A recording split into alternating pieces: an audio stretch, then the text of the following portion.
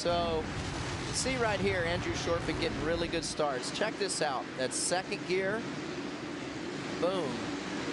That's third gear. He's starting in third gear. Well, the bikes have so much horsepower, and what it allows him to do is he just stays one constant motion all the way to the first turn. It's only throttle and clutch is the only thing that he has to worry about. He's not worried about pulling his left boot up